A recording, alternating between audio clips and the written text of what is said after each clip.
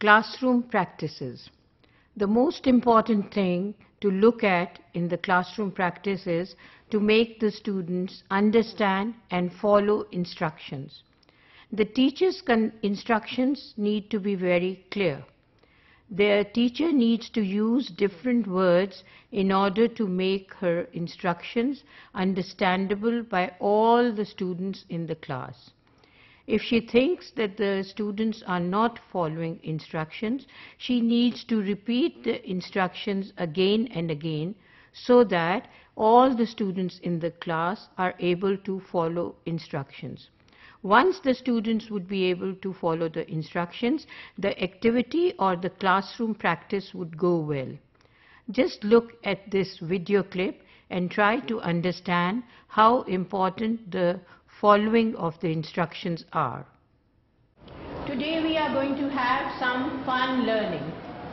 You like to learn English? Yes. yes. But today we are going to have some fun while we are doing our English lesson. Okay? The first thing which is very important for all of us in this classroom is that we follow the instructions. By following the instructions means we are going to look at the process, how we are going to do things and in what way we are going to do things. Since you are senior level learners, I would expect that you also memorize the steps of doing all the activities that I tell you. So you are working in groups. This is called group work. When you are doing group work, it is expected that you are going to help each other. If somebody in your group does not understand anything, you need to help that person. By doing group work, we not only learn things, but we also help each other. We also share things with each other. And when we become responsible citizens of Pakistan, then we are able to share all the good things that we have with all the other people around us. Do you agree with it? Yes. Do you like to work in groups? Yes. Would you like to help others? Yes. Very good. I'm very happy with all of you. Okay, so the first thing that I'm going to do is I'm going to distribute some worksheets with you and you are going to keep them very safe. Then I would be telling you to follow the worksheets one by one. Okay, so the group work that we have started now, we have to do it like a team and help each other.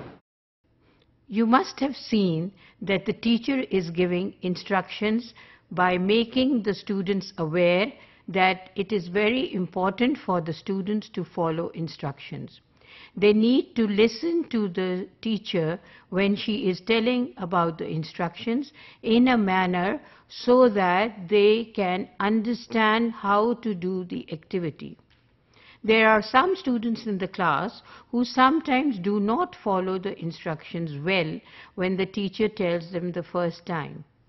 The teacher may repeat the instructions again and see whether everything is clear to the students. In order to make her instructions clear and make the students follow those instructions, the teacher needs to be very patient.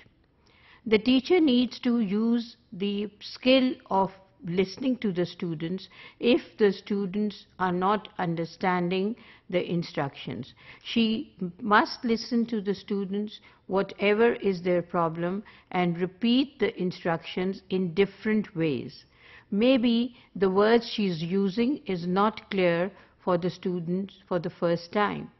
In order to change the wordings, she needs to use some simple words so that the students would understand instructions. The job of the teacher becomes very easy when the students know how to follow instructions. Also, in the long run, the students would develop a habit of following instructions and it is a great skill to follow instructions. We need to follow instructions all our life given by different areas and different authorities and different agents. So if we develop a habit to follow instructions and then work on the process, it makes the job very easy to be done and the action required to be taken.